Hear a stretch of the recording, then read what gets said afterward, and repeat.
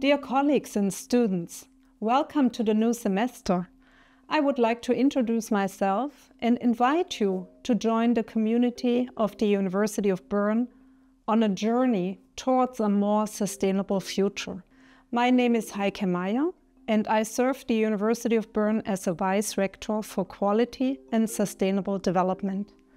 I'm also a professor of economic geography and my research focuses on the ways in which local and regional economies can become more sustainable.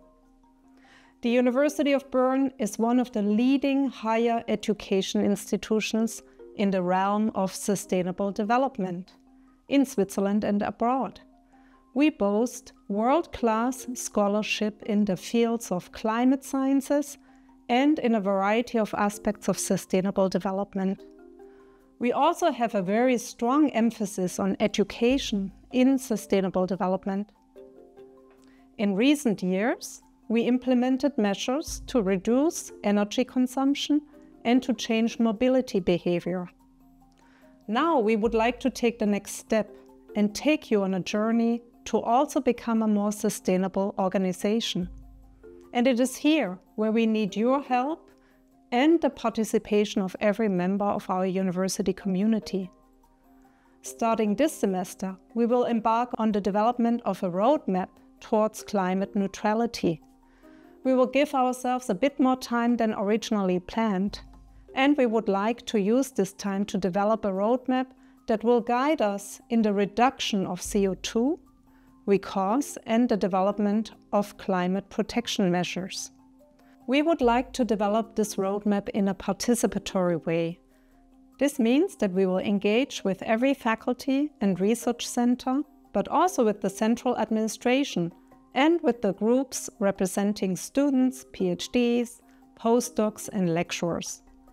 We would like to discuss with you how your constituencies can contribute to this roadmap and to the goal of climate neutrality.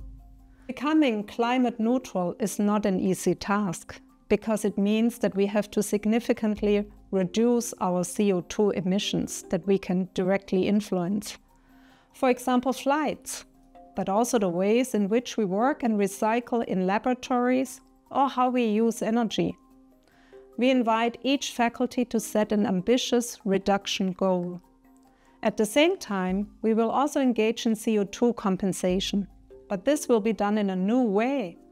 Besides traditional compensation measures through climate certificates, we will develop mechanisms of compensation that build on the unique strengths of a university.